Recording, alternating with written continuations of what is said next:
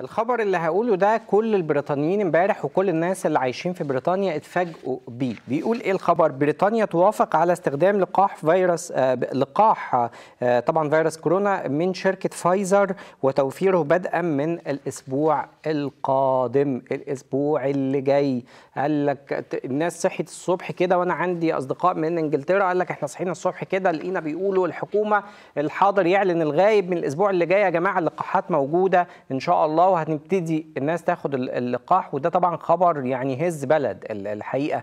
إن حد بيقول لك خلاص ده الكابوس بيروح على فكرة ده الأسبوع اللي جاي إحنا خلاص هنبتدي ناخد اللقاح. ودي حاجة طبعا حاجة كويسة جدا. لكن عايز أقول لحضراتكم إن في مشكلة في الغرب عموما مش موجودة عندنا الحقيقة. إيه المشكلة دي؟ المشكلة بت...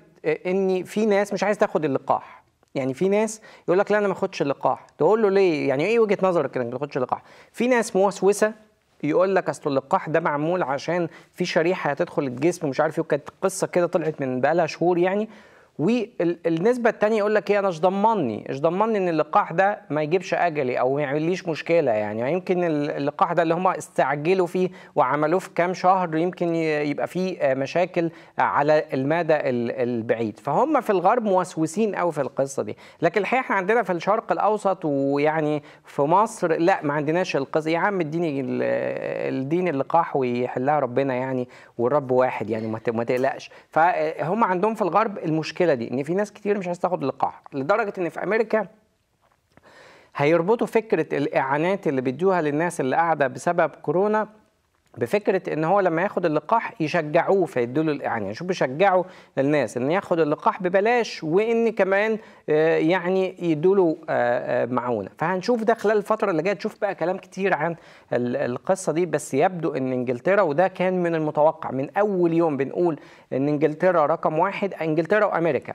أول ناس في العالم أول بشر في العالم هيحصلوا على اللقاح. فإنجلترا أعلنت إن من الأسبوع اللي جاي هيبتدي اللقاحات تشتغل وابتدوا بقى يعملوا يعني زي خطة كده ليه إزاي الشحن هيتوزع وإن الطيران هيساهم بشكل كبير جدا في نقل الجرعات من مكان لمكان. لأن عارفين حضراتكم شركة فايزر بالذات إن الجرعات تتنقل تحت يعني في درجة حرارة 70 تحت الصفر فدي محتاجة شركات معينة ومحتاجة أجهزة معينة ومحتاجة سرعة معينة كمان تلزمها الطيران فيا رب الخير ونبدأ بإنجلترا والعالم كله بعدها. بيدوك الأمل وياخدوه منك.